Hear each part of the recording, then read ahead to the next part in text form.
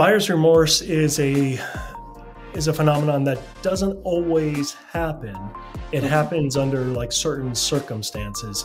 Okay. Some people get uh, dopamine hits by by making a purchase, and others get get the hit by by using the product they purchased. Completely yeah. psychological, not rational, but yet yeah. we're not rational people. When the consumer identifies themselves with the product or with the service, that's when you really get that loyalty.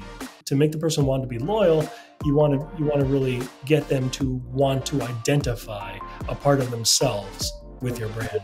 Yeah, so I, I don't always see like uh, loyal customers and like brand advocates as like in the same class, the same group. Hi, this is Rahi, and I am an e-commerce uh, retention expert. I welcome you all to our first episode of Retention with Rahi. Let me introduce my guest, Dr. Robert Bennett, Bo Bennett, and uh, he's an author of several books and online courses and owner of multiple businesses. He earned his bachelor degree in marketing and developed an interest in psychology while studying marketing, specifically consumer behaviors. Later, Dr. Bo Bennett completed his PhDs in social psychology and has written extensively on critical thinking. So please join me in welcoming Dr. Bo Bennett, who will share some insights on how psychological theories in marketing and how they affect our uh, like our e-commerce customers. So uh, welcome, welcome to the podcast. So uh, uh, like uh, the first question which I wanted to discuss because of our uh, customer audience is with your experience in social psychology and you have been into marketing a lot. So how e-commerce businesses can leverage psychological behaviors to sell more stuff. So, one of the psychological principles that I found most helpful in marketing comes from a book called Nudge. The whole concept is this idea where you can actually funnel people in a certain direction. Yeah. You, you could kind of like uh, encourage a certain kind of behavior, and it's really done at an at a some a subconscious level on their part. Of course, your tactics and your behaviors are are, are clearly um, uh, deliberate, but on their end, it's more subconscious. And here's a great example of that. Here in the United States, one of the the challenges is to get people to want to donate their organs or to donate their organs, like in case. Uh, they get into an accident and, and their organs and like they're, they're not going to live but their organs can save other people's lives yeah. so prior to i don't know a certain date what they used to do is they used to have a, a little checkbox on your um, when when you go for your driver's license on the, the, the paperwork. Okay. And you would you would check off that um, you would check off that box okay. if if um, if you wanted to donate your organs. And what they did is they changed that so now it's automatically checked, and you have to check to opt out of it. So what they're doing is they're capitalizing on the default behavior. And, uh, and that's a huge principle when it comes to setting up like a website and setting up forms and, and helping people kind of funneling them in, in the direction you want them to go. Yeah, yeah, yeah, yeah. And it's always needs to be very subtle because it can go over the top because nudges can uh, looks like a, like you are falling further or there is a, like a this, but nudge is very subtle. And there is also the hook framework which was also around this thing like uh, this uses nudges a lot that you play with nudges and then you try to this thing uh, like uh, uh put pull put push people into certain direction. But i think uh, uh, yeah so default effect is definitely there. So in terms of this thing like so from a so this one is from marketing perspective. But when we look at this because what's your take on this? Uh, like uh, how far we should go in the nudges? Like uh, we should go, and it should be real nudges, or like uh, like a false scarcity versus real scarcity, or like there is a whole debate around deceptive patterns where I don't want to donate or I don't want to help, like those kind of negative messaging, which right. typically comes uh, sometimes in these kind of where they tend to guilt like on send you on the guilt trip to like uh, take action. So, what's your take around that? Like, uh, how far should we go, or uh, there's a line? Yeah, it, it depends on your audience and what what they can tolerate, and it also depends on how much you're you're you're pushing them. Um, uh, for example, like if if you use this technique too many times, people will get annoyed. Uh, or if it, in, at least it, from my perspective, if it's so like blatant then yeah. it could be it could be annoying and it could be a big turnoff and you're not going to want to do business with somebody on, on a regular basis but that's yeah. another question like if if you're just like selling like a one and done type of thing you yeah. could push them a little farther you can get away with a little bit more but if you're looking to establish a relationship uh, like a like a recurring membership or uh, something that you want to have a long-term relationship with this client and keep selling them more things, then you got to back off a little bit. But give me an example. I uh, I remember, um, well, even now, like all the time, going to my local grocery store. Yeah.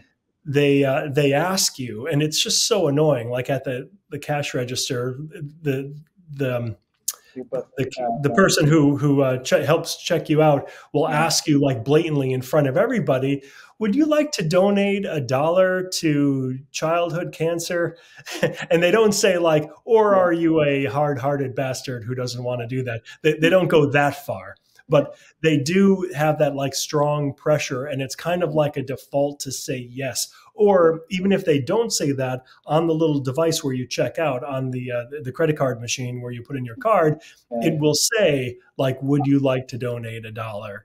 Um, so they that's a little bit different where it's that is kind of like a positive where you have to kind of like opt in but you could see that it's kind of more like a high pressure type of opt in and that's what we're talking about when we're talking about um, like annoying people and uh, pressuring them and, and you have to you have to really think about the situation like how badly do you need them to say yes versus how often are they actually coming and do you want to maintain them as a customer so there, there's a lot of those small factors to keep in mind because people people will get annoyed i mean we're yeah. we're human of course and and we don't like the hard sell we don't yeah. like to be made to feel like we're cheap or we're not uh, we're not giving so you got to be careful with that technique too.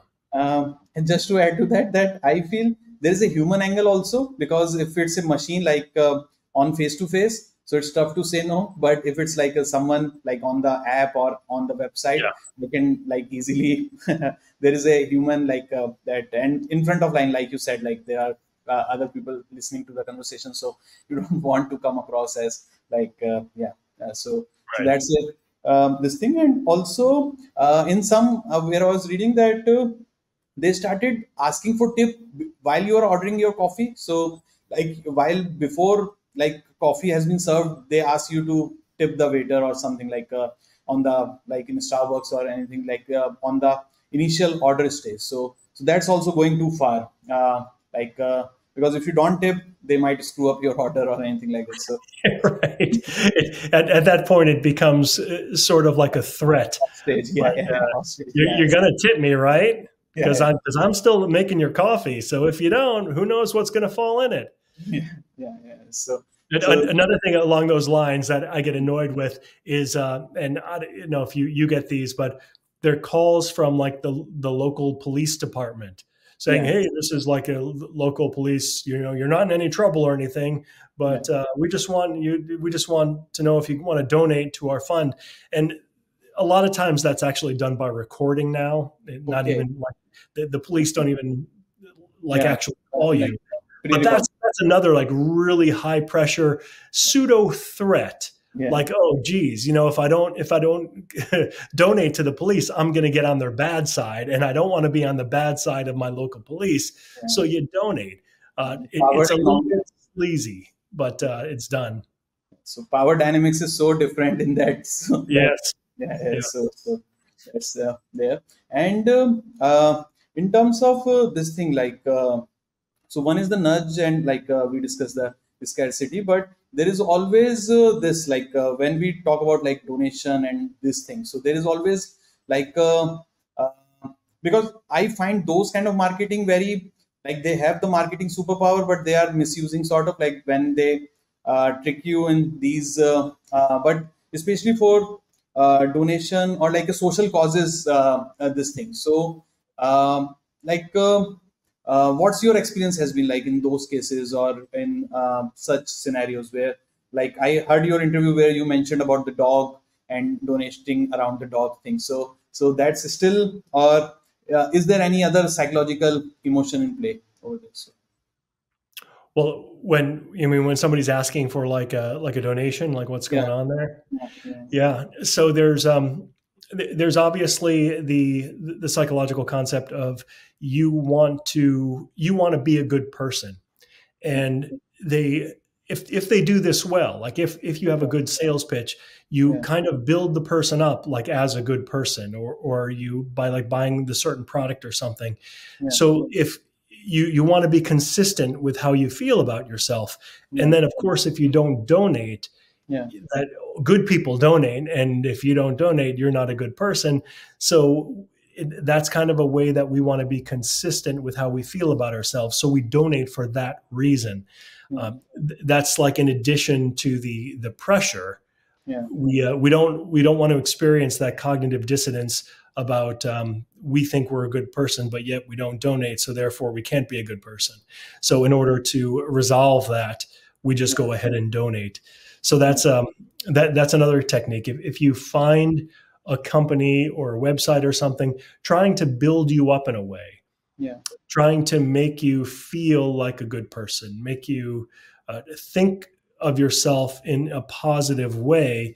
Okay. Usually, they're not doing that to be nice. there is a uh, a reason behind mm. that that yeah. usually requires them getting more money whatever yeah. or even even it could be benign like yes they're getting more money for a very useful or very good charity but there's still there's still an element of of manipulation slash persuasion in there. And as a marketer like we do it for uh, like uh, because we sell cosmetics and like uh, we help brands with the pharmaceutics or like uh, supplements and all those things. So those are also um, like uh, in the that like it's not uh, just pure this thing but uh, i feel in these kind of uh, industries especially for the health and uh, uh, the sensitive these are also like very marketing i would say like wild west sort of a thing where you can say away with anything you can apply any kind of pressure. So so what's your experience with that in terms of um, not donation but like in the terms of sensitive or um, like basically what we are discussing is around more like ethics uh, or uh, where the psychology because that's also i feel that uh, these are some superpowers and they should not be deployed as frequently or like when you know or you can reverse engineer the whole thing. So what's yeah. your take on this thing? Like uh, for uh, health supplements or cosmetics or those kind of uh, where they are over the top promises and all those things. Yeah ethics is a huge part of marketing. And there's there's no simple answer because everybody everybody is is kind of like on a different area when it comes to ethics. Mm-hmm. and it's not just um it's not just like internally. So it, it it doesn't mean that some people are good people or some people are horrible people some people are good people in desperate situations and and sometimes horrible people are find themselves in a good situation and don't need to resort to such tactics. So it's it's not really about the person but it's about uh, the the person plus the environment that that kind of dictates your level of where your line is. Where are you will you not cross the line? So it's um you know if you, i mean if you could ask me and I, and I could give you my opinion of like if something is ethical or not but I, before answering that like if you were just to ask me so is it ethical to sort of trick somebody into doing something? I would say well what's the situation? What's the circumstances around that? Is it are, are you tricking them? I, I don't like to use the word trick because that's kind of loaded. are you persuading them yeah. for a really good reason? Are you persuading them because you want them to do the right thing?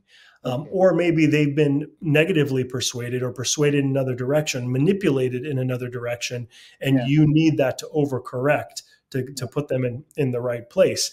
Uh, or is what you're doing strictly for your personal financial gain? Okay. Um, and that it doesn't that doesn't mean that it's always bad believe it or not yeah. sometimes you could do things for your personal financial gain that also benefits somebody else and yeah. you you've i'm sure you're you're familiar with sales and how that works and with with sales like a really good salesperson yeah. will sell something because uh, not because they just want to make money but because they really believe in the product yeah. and they really believe that them selling it to somebody they will benefit from it as well. Yeah. so th- that's a good example where um, where the ethics come into play and it's uh, and and it could work both ways. Again there's a lot of factors to consider but uh, you know i'm happy. If you want to throw out any situation i'm happy to kind of uh, freewheel it and, and see what's ethical versus what's not. We could play no. the game. Is this ethical? No so basically from a uh, retention perspective that uh, uh, so when we look at retention overall, so let's uh, uh, dive into like uh, how we approach. I want your take around it. So I think that would be helpful to like where the psychology. So one is the what we say is the first purchase is more like an introduction to the brand, sort of like first purchase is always someone is trying out the product. Then there is a buyer's remorse angle. So buyer's remorse. Uh, like how you tackle buyer's remorse, which is the immediate after once someone places an order. So in our this thing so one is the upsell cross sell where we the whole ethics and how many products you need to upsell and if someone is buying already buying a one uh, like uh, uh, like one uh, pack of supplements should we sell like two or four like as a bundle of supplements or should we put it up? But just coming to the question is like um, how you handle buyer's remorse or how business should handle buyer's remorse for their uh, customers. When, when, because that's a part of retention and how people feel about the purchase. Right. Uh, buyer's remorse is a is a phenomenon that doesn't always happen. It okay. happens under like certain circumstances and it's not something that a company could always control okay. because a lot of times it has to do very specifically with the buyer with their mindset and with their personal situation. So some people just they spend money they don't have. Uh, they they get well, well, Let's start with the factor number one. One of the the top reasons for buyer's remorse is a really really strong, persuasive sales pitch. Okay. You think like, well, that's good, isn't it? Well, yes, but when it comes to buyer's remorse, it's not good because that's probably the biggest factor. When people are really emotionally persuaded to make a purchase, they're not thinking. Again, they're acting more on emotion. And then once the emotion starts to subside, the cognitive faculties kick in and then they start to realize, oh crap, you know, why did I buy this? I don't need it. I don't I don't even want it. Uh, and I can't afford it. So the one of the best things that you could do is is not focus not, not do a high pressure very emotional sales and i know like uh, again some people will tell you like yeah. hey you want to sell these things and you get the emotion out there but yeah. that's the short term if if you want to make the sale and get out of there uh, yeah. but it's you know that's what you could do. But there's also like a um, like an equation because you could say okay if i make the really high pressure high pitch emotional sale yeah. i'm going to get x amount of dollars. Okay. and, but then i'm going to have like y amount of of uh, returns. People have buyer remorse. People who, who say like i don't want this. Take advantage of the 30 day return policy or whatever. Okay.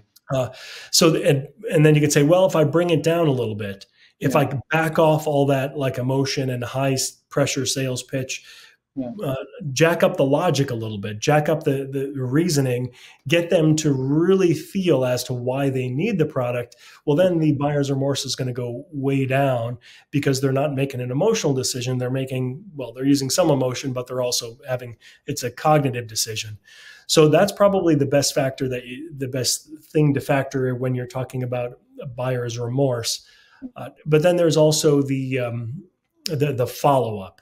So after they buy something, then you can kind of feed emails to them saying, you know, congratulations on your purchase. You made the right decision, and here's why. So maybe then you could really get into with a lot of the logic, like you, you made a good decision, kind of reinforce their decision that they made and explain to them why it's a good decision and kind of be there for them to answer any questions. Because some people, sometimes people just want to talk. They want to say, well, you know, did I make the right decision? And if, if you or somebody on your staff is there for them to kind of answer those questions, to kind of uh, put those uh, put those uh, worries at ease, yeah. then you're going to be in a much better position. Okay, because uh, my understanding was that buyer's remorse is like for every purchase, and I never had a bifurcation. Like uh, how we recommend for our clients and like uh, for retention is that uh, you do like value based uh, marketing after that, like during the delivery time or those you send uh, the benefits and the like tips and how to use the product and those kind of things so just to reiterate the purchase but i thought uh, every purchase gets little bit of buyer's remorse but uh, i uh, like that's helpful that uh, this is emotional versus logical. So we need to lean more toward like after purchase like uh, so in the, the purchase there might be like emotional angle but once someone has bought then we need to move everything to the logic and try to feed them on this side of things. Okay okay.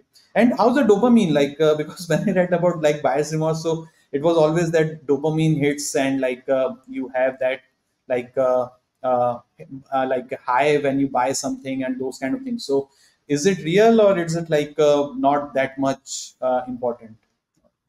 Uh, it's real. Okay. some people get uh, dopamine hits by by making a purchase and others get get the hit by by using the product they purchased or or the service. So that's kind of the key there. You need to make sure they have that feeling, that good feeling for using the product. Again, if you're selling like a crappy product that doesn't work or nobody wants, yeah. then you're going to be in a very difficult position and you're going to find yourself having to use a lot of manipulation, a lot of these per, heavy persuasion techniques, and you're you're ultimately you know not going to make it. You're not going to do very well you need to have like a product or a service that people really want that people really are excited about that people yeah. get the, that dopamine hit by using. Therefore it's continual. It's not just when they buy it but it's when they use it on a regular basis. Like um, when that you sense like yeah. Please please please uh, you were saying. Well i was going to say when, when you get something uh, you, you ha- usually have like um, well let's just say it's not one or two feelings. Let's say it's on a spectrum. Like on one end when you when you get a product receive a product you're saying this is amazing. This is fantastic. I'm so glad i bought this. And there's no buyer remorse there. I mean i I've, i can think of many things that i bought that that were like that. I'm like, this is great. You know, I, I cannot believe I paid six dollars for this. I would have paid like five times as much. So okay. sometimes there are those really good deals, and you feel you feel like you really got your money's worth. And on the other side, when you when you buy something especially online and you get it you're like are you kidding me i paid how much for this this is a piece of crap and then you have complete and total buyer's remorse because the product or the service, at least your your initial uh, view of it, it doesn't meet your expectations of, of what you were sold. So th- that's a very important factor in buyer retention is mm. try to match those expectations. Yeah. Um, yeah. And I, will give you a good personal example with uh, with my book marketing company. Yeah. When when I f- first kind of started off, I used a lot of like hype and you know this is like because i was i basically sell services of other people in, in book marketing what they offer so okay. I, I used their language and i'm just kind of like a reseller of some of their things okay. and I, I realized that this is not working because this is way too hyped up for what they're getting okay. so i completely changed my tactics like this didn't take me long to realize uh, that I needed to do this. First, because it's the right thing. You yeah. want to, at least in, in, my perspective, again, we're bringing ethics and morality in here. Yeah. I say it's the right thing to do because you don't want to trick people. You don't want to sell them something they're not getting because you're just going to have problems down the line. Yeah. Plus, the clients I work with, these are like lifetime clients that write multiple books and they keep on uh, um, yeah. advertising and, and promoting the same book. So you want to keep them. So I set my expectations really clear. In fact, I've got a really funny video on my homepage at bookmarketing.pro down in the right hand corner, if you watch it, it's like a 60 second promo that that's like really it tells people the way it is in a funny way. Like, look, you're probably not going to be a bestseller. Your book's probably not going to make it. But in order to like you really want to give your book the best chance possible and this is the way to do it so by setting the by setting the expectations yeah.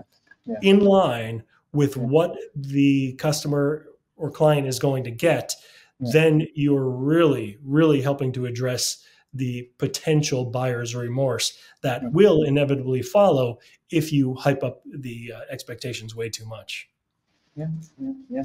Makes sense. Makes sense. And I think, uh, um, like, just to add to that, that uh, like for retention, like, uh, uh, so the product needs to be there because you can hack the growth. Like what we say is like you can hack the growth, but for retention, the products needs to be good. And like you said in that example, that you can fool someone one time, but you can't fool like people um, like again and uh, those times. So I think uh, uh, the buyers like the the product needs to be good to like the first metrics. So whenever we take up for anything for retention, then we look at the reviews, the product needs to be good and this thing. Then only the any strategy or any like uh, psychology will work because this is not the first uh, purchase. Like it's more about like repeat purchase and all those things. So so that kind of uh, up, but that's quite helpful, I think, uh, from a strategy and this perspective.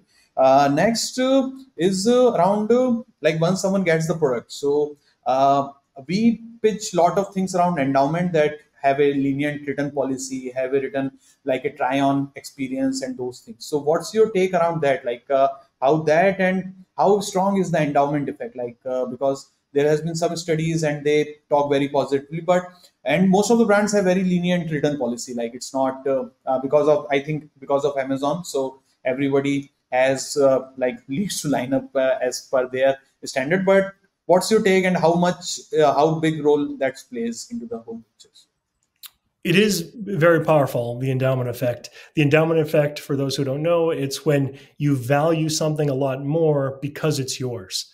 Uh, whereas if it weren't yours, you would say, ah, I don't know, I'd, I'd, pay like five bucks for it. But if you actually say, okay, here, this is yours, how much would you sell it for? Well, I would I wouldn't take anything less than eight dollars for it. so like the same product, but because you you you own it, you um, yeah. you you take possession of it, then yeah. it means something differently. Completely yeah. psychological, not rational, but yet yeah. we're not rational people. I mean, that's we're. I mean, in, in, in general, like as a species, we're not completely rational. We're very emotional, and that's a good example where emotion comes into play more than uh, more than reason. So, and the endowment effect is uh, is is powerful, but not as much with uh, digital products because you don't you don't have that same kind of a tactile ownership with a digital product as as you do with with a physical project uh, product. So um, yeah, so just I guess keep that. That's kind of important distinction. Okay, okay, okay. And uh, uh, once someone starts using the product, uh, uh so uh, to make someone loyal or like uh, root out for you or like become more like because the toughest part which uh, most of the brands struggle is the referral or a continued loyalty like uh, more than five purchases from a single brand and those kind of things. So so uh, when we can consider and uh, how someone becomes loyal to a brand or like attached to a brand or become a part of a community. So is there any like uh, like the herd like not herd but tribe mentality over there? Or what's uh, like from a psychological perspective if you feel certain about Apple or like a force very if you're loyal with that product. So what's typically tend to be people's psychology when they attach themselves with the products. So, or if like uh, yeah, mostly products. It's a lot of this has to do with identity. And what I mean by that is when the consumer identifies themselves with the product or with the service, that's when you really get that loyalty. So, for example, you may say, well, I'm the kind of person who wears Nike sneakers. Yeah. You know that that's me. I'm a Nike type of guy. So once you get that, once you get that identification, that's when you get the loyalty. Because then all of a sudden it's like a um, like an in group out group sort of thing. Like, oh, geez, I'm not a Reebok person. Are you kidding me? Uh, I would never go through the even make Reeboks anymore. I don't, I don't know if I'm dating myself here, uh, but I know they do Nike. So if you can if you can get yourself okay. to, or if you can get uh, your your clients, your consumers to identify themselves or a part of themselves with your product or service, make it personal to them, okay. then you're going to get that kind of loyalty that you're looking for because no longer are they they're being loyal to you in a sense they okay. feel like they're again it's this cognitive dissonance. They're the type of people who wear nike sneakers. And they think that they're a good person they're a smart person they make good decisions. Okay. therefore if they didn't hmm. support and be loyal to nike then they wouldn't be making a good decision. Like if, if they supported another sneaker or so so they it's like the brand is part of them and they get a, a, cognitive boost by supporting that brand. So make the make the person want to be to make the person want to be loyal you want to you want to really get them to want to identify a part of themselves with your brand or product or service. Yeah that makes sense. And for smaller brands like how it would work because uh, like nike of the world or like apple's uh, apple and like these kind of brands uh, um, there is a lot of marketing, there is a lot of branding, and there is a lot of uh, uh, like celebrity and uh, endorsement and all those things. But for a small D2C brand or like some kind of uh, like uh, yeah, not mom and pop, but like a start direct to consumer or direct to um, consumer brand, how they can play with that, like or they can build that identity. One is like I've seen some brands with the like social angle or csr angle like uh, that we donate this thing or we are making the world uh, a better place or like this is sustainable products and those kind of things. But and we also use that sustainable vegan or like uh, uh, like those kind of animal cruelty free and all those things. But um, like yeah what's your take in around that? Like uh, uh, for smaller brands not for big uh, but for someone who's just uh, running a two year old company so how will they play with this identity yeah, it's a little bit more challenging because if you are a smaller company or with a brand new brand new product new service then it's it's harder to really to get that identity because people don't know what your brand stands for or what it what it really means yeah. um, in in those cases you kind of play on the technology or or play on the uh, I, am saying technology because that's kind of my domain but you would you would play on something unique. Well let me give you an example based on uh, what what I do and and maybe your listeners can kind of customize that to their needs. So for example one of the companies I run now is bookbud.ai and that's where users could go in and create their own AI based books um, just with an idea like nonfiction books. So like if I if trying to get people to identify with BookBud, it, it's like you know what's that? You're a new company. It doesn't matter. But the the interesting spin here is this technology, you know, artificial intelligence. This is like the the bigger picture. Yeah. So yeah. if you if you get people who want to like that's really part of their identity, like they are always on top of things they're on the, the, the end of the curve when it comes to like new technologies out there. They're they're smart. Uh, they're um, they're on top of things. They're not behind. Uh, they they watch. They they read about uh, technology. They, they're kept up to date on everything. That's that's how you do it. So now you're you're getting them to associate with artificial intelligence, and your your company is kind of a surrogate for artificial intelligence. The um, the one difference there that well the main difference like obviously the whole nike thing is a better example. It, yeah. it's a better strategy because you're specific. But if there are many companies out there that are doing the same thing then you're not going to have that kind of loyalty. You're, you're because then they could still they could still be like high tech and ai but there's so many different companies they could choose from where they could get that association. So um, the, the more specific you can get the better. But if, if you're brand new you're starting out you can't get very specific go for the broader theme. And then maybe as as we progress like people bookbud will be synonymous with creating ai books and then maybe that brand will be something that people will identify with in the future yeah that's really interesting. Like what it meant about like for vegan and like uh, uh, those kind of cruelty free and this thing. I think uh, it's more like piggy banking on a existing mm. trend uh, to uh, i think nike also does that like uh, and they also use celebrity to pass that that you stand with jordan or like that's kind of personality. So i think it's the same approach so there's no piggy banking like piggy banking is not uh, but still i get that like okay okay okay. Uh, apart from identity like any other things which we can play around uh, uh, for generating loyalty or like uh, uh, like uh, helping people? And also about the referral side of things because one is being loyal and one is being like referred to someone or refer someone to the brand or like putting your neck out and uh, promoting the product and uh, these kind of things. So because we mark a distinction between like a loyal customer versus uh, like a brand advocate. So brand advocates is a next level. So people might be loyal but they might keep it to themselves or they might not uh, tell to their uh, friends or family or like colleagues.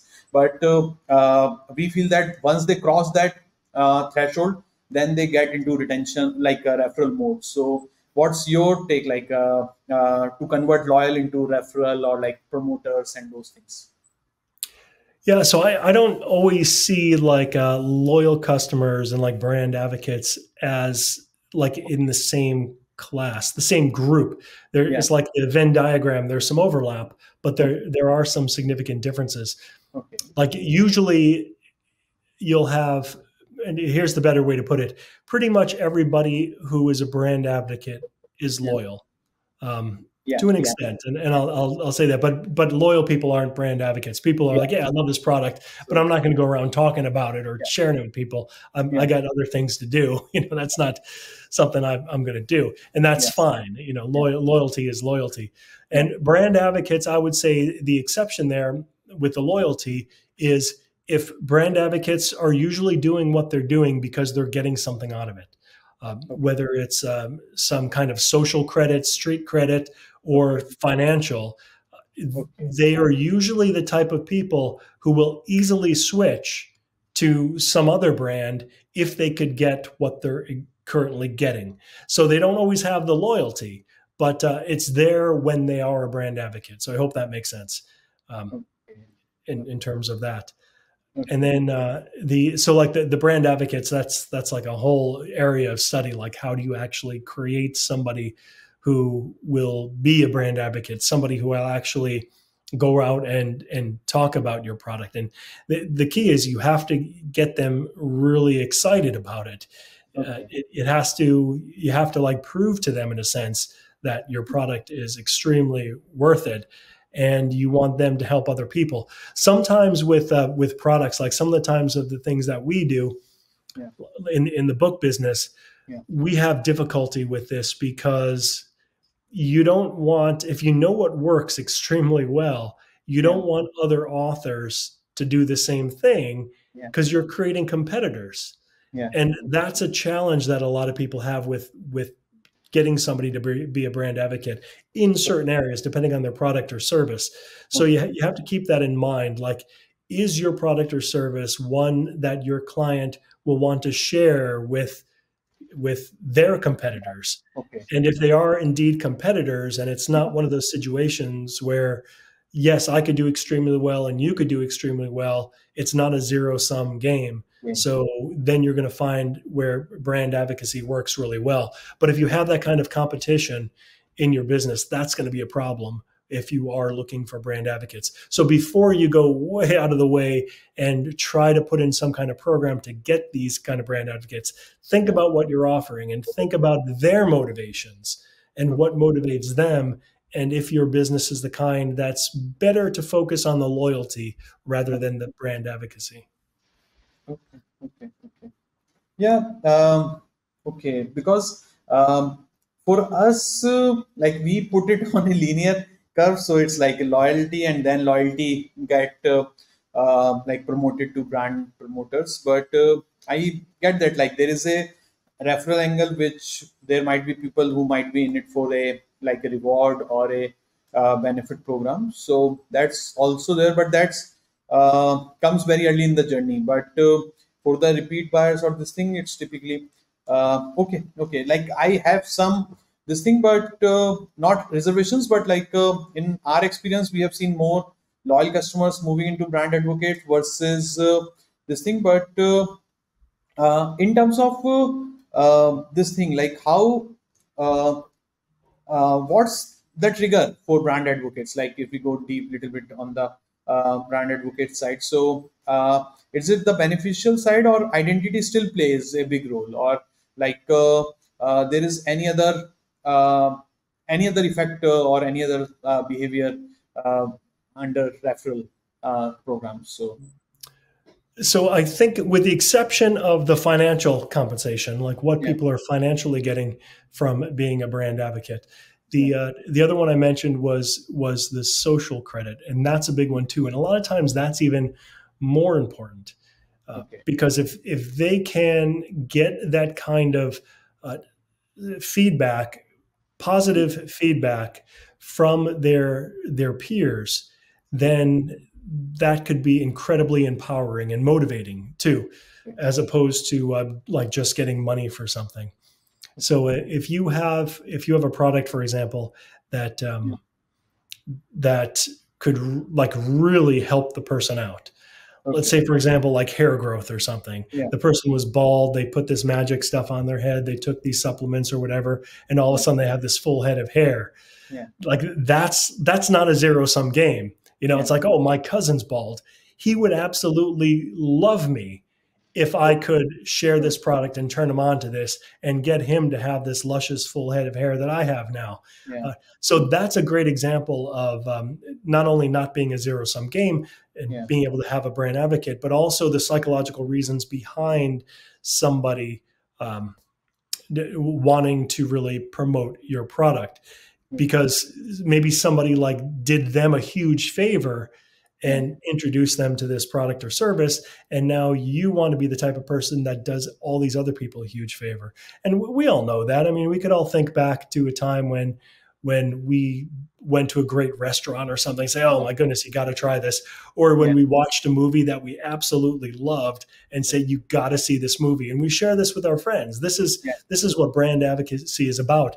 The the movie studios aren't paying us right? Mm-hmm. The restaurants aren't paying us all this money to do this. We do this on our own. Why? Mm-hmm. Because we we have friends and we like our friends and family to have the same great feelings and benefits that we had. So we okay. share it and that's one of the major motivations. So again it comes down to your product and service. If your product and service is ripping people off or it, or you're way over promising and under under delivering you're not going to get any brand advocates. You're not going to get people because they don't want to do that to their friends. Uh, yeah. they may do that to their enemies as a joke but who knows?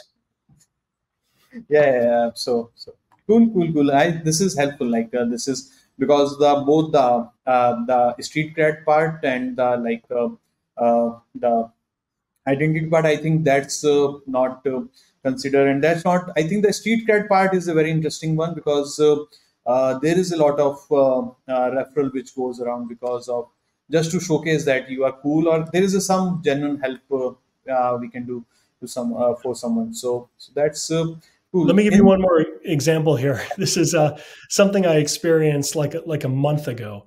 okay I was watching this like YouTube video of this kid who who claimed to be like a uh, like a like an expert, a book marketing expert in this very like tight domain, like the, this small area. So I was yeah interested in, in what he had to say. So I was watching a couple of his things and saying, all right. And then he he did this video where again he was acting as like a brand ambassador and saying like this service was the best and it was fantastic and I got these incredible results. So I said, all right, you know, for for 40 bucks, I'll test this and see if this is a service I want to add to my array of services that we yeah offer. I tested it and it was a total and complete failure. I'm like, all right, maybe maybe I did this wrong, maybe it wasn't a good book. So I did it again and again 3 times and it turns out like this was a horrible service. So it was clear to me that this this kid was getting paid for that. It was like a paid sponsorship that he didn't disclose or something. But the bigger point is that no longer do I watch any of this kid's videos because I know yeah. I, I, know what he's about. Yeah. Um, and this is this is from a uh, like a commercial aspect, but you could think of that from a personal level. Like yeah. if you are a brand ambassador and you start talking up something that doesn't work, that's yeah. not good, then yeah. people are going to stop listening to you. People are going to not take you seriously. They're not going to take you as a credible source of information. But more importantly than that, they're not going to like you. And if you're if you're sharing things with friends and family, well, you you want your friends and family to like you, of course. So uh, so keep that in mind. Mm, definitely, definitely, and I think uh, um, like celebrities uh, get away with that like uh, they mm. might promote a wrong product and uh, they get away with that but um, yeah like i think non uh, disclosing the sponsorship or like uh, uh, doing it without like because this is very this has become very tough in today's day and age. Like the whole influencer marketing and who's taking and what's uh, what's people are recommending and uh, uh, it's not disclosed in most of the cases. So that's hmm. also currently the landscape is going in that direction. But i think celebrities do get away with that. They might come around and that we didn't did, like what happened with this like there's a lot of burn like people burn their money in crypto and that uh, the whole uh, oh yeah yeah so so like uh, all of the, got in big trouble yeah, so uh, yeah, all of the big influencers uh, like shook their hand, like uh, walk away. Uh, so, so that's there. In the terms of like uh, uh, because of your startup, and you have been referring about the the book AI startup. So we wanted to discuss like how the AI is playing into this, but let's discuss like how you are building this up in the terms of brand building or in the terms of in today's with AI and how soon the like how competitive the landscape has become and how uh, like it's becoming more and more easier to build up uh, like uh, uh, new products or new brands. So how you are looking and what's your like game plan for the how to establish a strong brand in this competitive landscape so, well with artificial intelligence and the use of ai yeah. the, the the first and the, the biggest suggestion biggest uh, uh, advice I have to anybody listening is embrace it. Do not be one of those people who who fear it. Do not be one of those people who say this is going to take away jobs and it's going to take away my job and uh, I hate it. Therefore, I'm not going to use it. Yeah. Don't do that because you're you're going to lose. If you if you're going putting yourself up against artificial intelligence, you're not going to win. Uh, so just realize that right now. Uh, artificial intelligence is here to stay it's an amazing tool for anybody in business, any entrepreneur who, eh, like, I, I, can't even begin to just say like there what specific reasons you could use it for. You could use it for basically anything that you do. I found in in in marketing, especially, geez, yeah. um, it, has been a huge help because I, as I mentioned before, I, I have a hard time with marketing speak. Uh, even even as a marketer, I, I just like kind of cringe, like ooh, like uh, I can't really say that. Um, and because I also my, my, main area, my PhD, my main area is in critical thinking, reason, logic. So yeah. to kind of move away from that a little bit and and use like some of those logical fallacies and cognitive biases and exploit some of that I feel like it's exploit exploitation. So I have a really hard time doing that, but AI has no problem doing that. So so I'll I'll take it and I'll ask artificial intelligence intelligence to write me something. Yeah. Uh, like uh, please help me write a, a, a strong persuasive sales pitch okay. using like certain techniques or whatever. You don't even have to say that for yeah. this product, three paragraphs, whatever. Yeah. And it does an amazing job. Not only does it do an amazing job, but it also does it within what a second, yeah. three seconds, saving me like countless hours of, of work. Mm-hmm. So just to be able to move at this kind of pace, it's like having an amazing virtual assistant right by your side who works for free, by the way, uh, and knows like college level education on virtually everything. So it's a really good tool to use and Yeah. and to to use to your benefit in in every aspect of your marketing. Yeah. Um, in terms of limitation, like where you feel that AI is not there yet, or like uh, uh, because like uh, from my perspective, uh, AI is not across like if there are multiple depart like multiple intersections. So like from my perspective, I sit at marketing, product, and uh, tech uh, intersections, so AI might get confused in those kind of calls but uh, for a linear thinking or like a, from a single uh, skill set i think ai uh, is like uh, far better than a 10 years year old like uh, someone who has been doing for 10 years or more like uh, they are um, uh, because it's a linear model training so so what's your like uh, where you feel that ai is little bit because they will get there like in next two years or one year Oh yeah, uh, yeah. Next next two months, who knows? I mean, that's the thing. It moves at such an incredibly fast pace, yeah. and Yeah. with each new version that comes out, it's just Yeah. mind blowing. But like right now, especially for for what I do, Yeah. I don't I don't offer artificial intelligence, and I say like stay away from the fictional material. It Okay. can make up stories, but Okay. artificial intelligence right now has a very short term memory, Okay. and until they really solve that. Where, where it remembers everything about you, there's going to be a lot of limitations associated with that. I just imagine, like right now, let's say ChatGPT, you could go on there and you could give it some background information about your business, what you're trying to do, and and it'll do a fantastic job. It'll work really well. But just Yeah. imagine if you can tell it pretty much everything about your business. You could feed it in thousands of pages of documents, your entire website, all of your marketing material, your scripts that you have, like just everything. So it would know everything about your business and it will remember that. And then you could you could literally like treat artificial intelligence as like the CEO of your company, like somebody who knows more about you, more about the company than you do. And Yeah. uh, that is going to be a huge, huge step forward in artificial intelligence once we have that. I know right now they they have some like you could you could hack it, you could do some local stuff. Yeah. Um, and and so it's not like completely out of uh, the realm right now, but it's not available to the masses. It's not like something that everybody can easily do. But when that time comes, a lot of the limitations that that we face right now, usually having to do with memory, is um, will be will go away. And I have a feeling that that time is coming soon.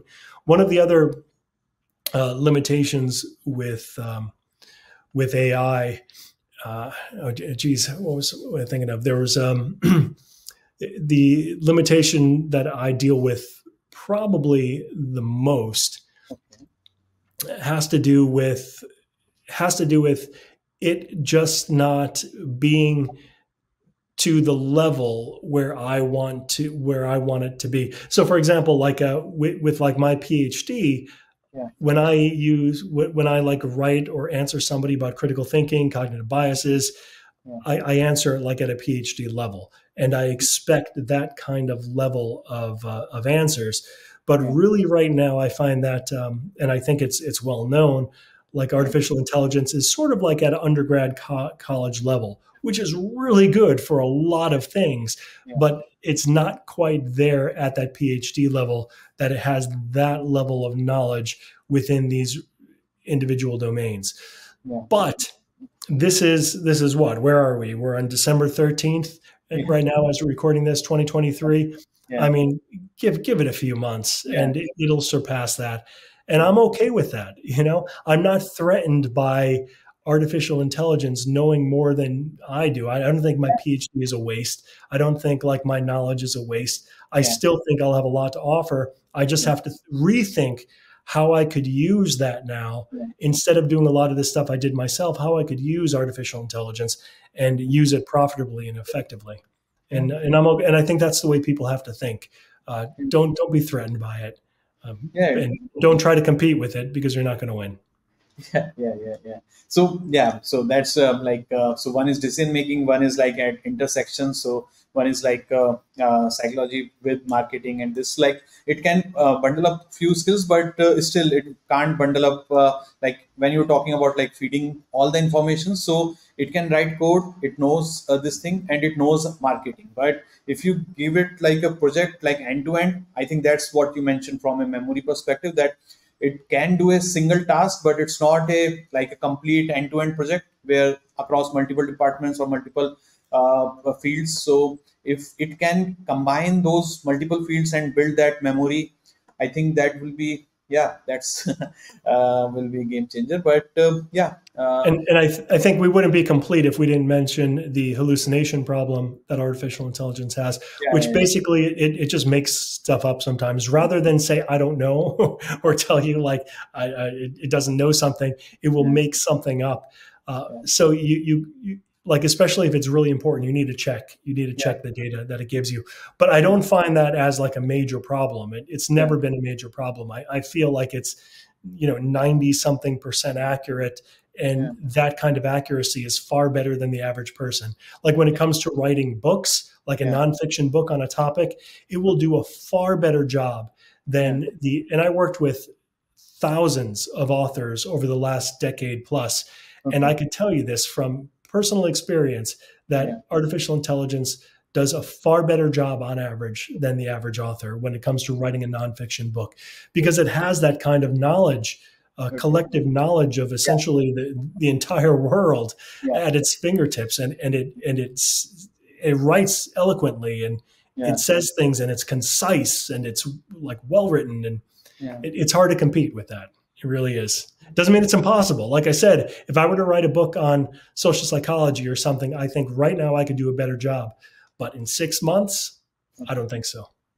Yeah, yeah, and also like uh, uh, how we use it, is like we feed it outlines. Like uh, so, you might use it for research separately. Once you create an outline, you create a blueprint. Like uh, and uh, like the hallucination and like uh, the wrong facts and wrong years and dates and like mention like it's also uh, in the in, in, early days when it came out and the whole buzz was around chat gpt so we used it and we like uh, published some where the whole article was like some paper was mentioned or some year and this uh, Harvard Business Review, like 2003, this report. So those kind of things, and all it all turned out to be false. But like it says it with so much confidence. But uh, I think, uh, um, yeah, so then it uh, went in that direction. But uh, apart from that, uh, it's good for separate activity. It's just not able to do it all together in one go. Like uh, sure. we use it to build up outline. Research is far better, and then once we have the outline, or if you have internal notes, old notes, also you feed them,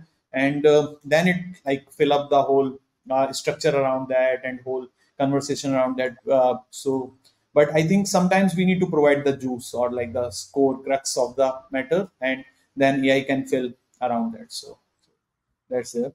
And uh, uh, in terms of uh, this thing like uh, um, regarding the company so what's the current uh, role like uh, in the if you can talk a little bit about the company or your experience has been with the book because I was very curious about this. Uh, like because on your page you have like ten books, uh, more than ten books I think you have written, and um, all, right. all around this uh, uh stuff, psychology and uh, like uh, logical fallacies and all those things. So these are like so one is this, and second is like your AI book business. So I think that's the product. Yeah, so I'll give you a quick story there. When when I sold my first company of significant value back in yeah. 2001, okay. I uh, after I did that, I I took took some time off, and by some time I mean one day. and after that one day, I said, "All right, I got to start doing something." So okay. I I put together a book. I wrote a book called Year to Success, a 740 something page book with okay. a whole bunch of different success principles. And this was before the PhD, so admittedly, it was a little bit um, hyperbolic at the time. Uh, just a note, I did correct it after I got the PhD. I went through, I re, re, uh, revised the book and made it more science based. But anyway, uh, after I did that, I realized that it was incredibly difficult to get the book promoted, to, to get it marketed, to get it published, yeah. because this was back in 2004 when I was done with the book. And uh, things were a lot different then on the internet. So I basically went through the whole process and I, I ended up starting a company um, shortly thereafter to help me do book uh, publishing to help anybody publish books. Okay. So um, throughout the years, I, have written about um, well over a dozen different books, mostly on the area of psychology, critical thinking, logic, reason, science, like that. That's my primary domain. Um, but in in the process of of doing this and helping people out with the book marketing and the book promotion, which our company does, I when I saw AI come to the scene, the first my my first experience w- was with it was writing a book description because I used to write book descriptions for customers. It used to take me like uh, several hours to do it. Um, you'd have to read enough of the book to understand it, and it was you know I did a pretty good job I think. But when I had artificial intelligence do it, I fed it in the information table of contents introduction. It wrote a book description far better than I could ever do, again, within seconds. So I knew that this was a change. This was a major change. Um, and art and AI was here to stay. So I started building companies around that, uh, in integrating artificial intelligence with publishing, and uh, and that's what my first company was BookBud.ai, and that's when anybody could go there just with an idea and come out with like a, a couple hours later with like a fully published book, uh, nonfiction book um, in both audio, print, and ebook version.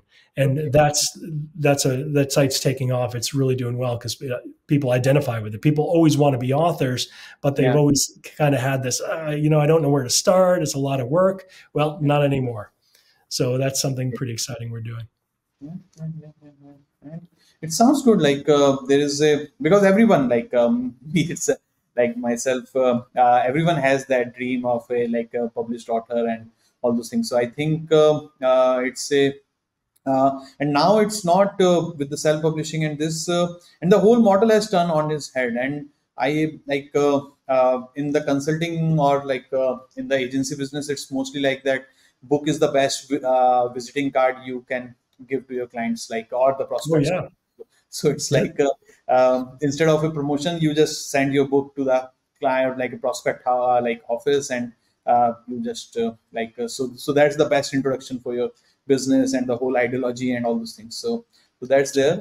And uh, in terms of uh, i think uh, mostly lastly in the terms of ai with this thing like online shopping. So if you have anything around not sorry um, in the terms of uh, like how you feel that AI will impact the consumer behaviors or like the whole shopping experience, or we are wired till the core uh, as a like uh, the whole wiring will be different, uh, or it will remain the same. Like the core desires will remain the same. AI is just like enabler, and it will not have much impact on the shopping or a psychological perspective, or AI will have a deeper impact on the overall psychological behavior and the whole experience as well. Yeah, I think it'll have a huge impact on online shopping. And okay. in, in at least one example where it will is with real time live help. Like you're starting to see this now and it's it's getting better where but to just just take it from um, the human perspective when you're on a website and you have a human chat there and you could just like click on the button and you yeah. could speak to somebody you could chat with like a live person about like anything any question you have that's not in the faqs that's not worded a special way that doesn't make you press one of the choices which drives you crazy because you keep on pressing it and then eventually you don't get you get to a dead end and they don't give you an option for a real person so mm-hmm. with with um, and th- a lot of times people have questions before they make a purchase yeah. and they're not ready they're not willing to make the purchase especially if it's a high end purchase without getting their questions answered and unless you're like a site with amazon that has billions of users with yeah. this massive amount of data where every question that could possibly ever be asked has been asked about the product yeah. then you're you're you're in a situation where you could really use ai so just imagine again an ai being trained on everything about your business every possible question that could be asked okay. it could provide the answer to, like in real time and an extremely good answer with links and everything. And that's where I, I see it going. Like it, it's getting there, uh, but it's not quite there yet. But once that does happen, you'll be able to get on a website and, and with any shopping experience and say, oh, uh, does that shirt come in my size? Does it come in my color? How, do, how does it do with, um, with uh, multiple yeah. washes? You know, is it going to like all these obscure questions, but things that people want to know, yeah. and AI will be able to answer all of that and say, okay, I'm sold. You know, I'll make the purchase. So I, I, see that that is going to be a huge, huge factor.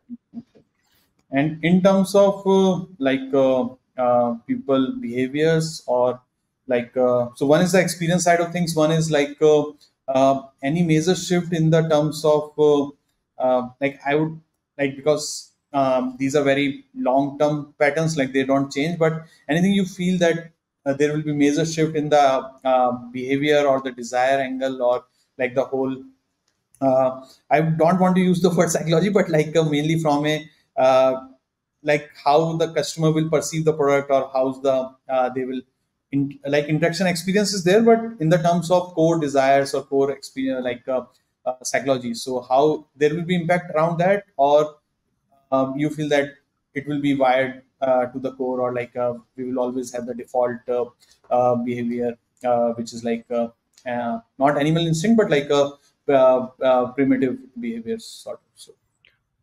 Well there are two ways to answer that question. One is like uh, from a longer term perspective, and like our real behavior might be linked to our evolutionary process. Yeah. So evolution takes thousands of years to change. So AI is not going to change us at that level.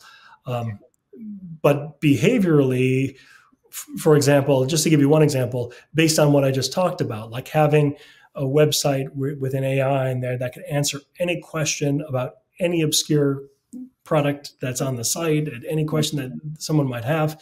Just imagine that being kind of like the norm and people will expect that so that's going to be a behavioral change on the consumer yeah. side they're going to expect that kind of service and that that kind of detail so even if you do have like a human person yeah. unless it's like the ceo or the owner of the company that knows everything it's going to be less of a quality you're not going to get the same quality answer. And we know that, like dealing with some people yeah, from yeah. that that work in some huge major call center that have like a list of 20 questions, and they're just, you know, that's what they're working off of. So uh, people are going to expect that level of service from now on once AI becomes more mainstream on on those shopping sites. That's an interesting point. That uh, it's not uh, this way around, but uh, like uh, uh, you have to embrace AI because people will not be able to compete. So the quality will not remain the same, and AI will start surpassing the quality hmm. checks or like the quality. Uh, that's uh, yeah, uh, so that's also there over there, and I think uh, that's it. That's it. Uh, so uh, anything add you want to add? Just last thing I wanted to around the retention side of things, like anything you in your current organization or in on current startup you feel that or overall also uh, any three retention related tactics or uh, like uh, strategies you want to share with our clients uh, like listeners?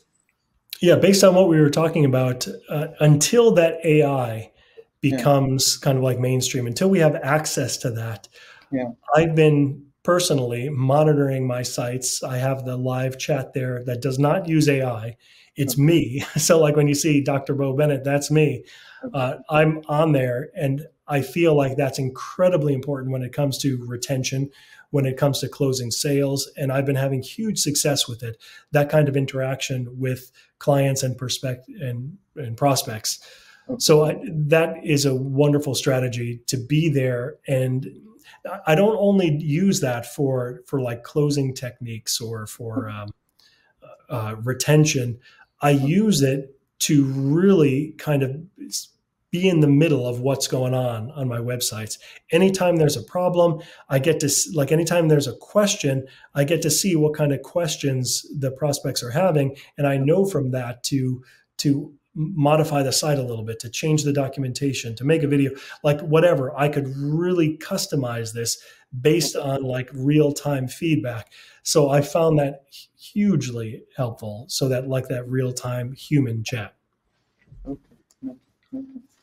Okay, okay, yeah, sounds good, sounds good. And I think this is uh, like a personal touch. Uh, there is no um, like not from AI, like uh, there's nothing but personal, and also it's a very good research tool. Like uh, when you interact with the customers or prospects, so you get to know a lot of things which is very tough to this thing so we always recommend to have interaction or like uh, do customer interviews or like prospect and do it uh, like at least uh, but you are doing it like i think more regularly and like uh, more this thing but it's always helps. And it's uh, mainly from a product development also from the features from the sales like it's always helps uh, to be close with the customers so close yeah. to the customers so, okay okay okay. So thank you thank you dr vance. So i right. think uh, this was helpful and uh, uh, thank you for uh, giving us your time. It's been great. Thank you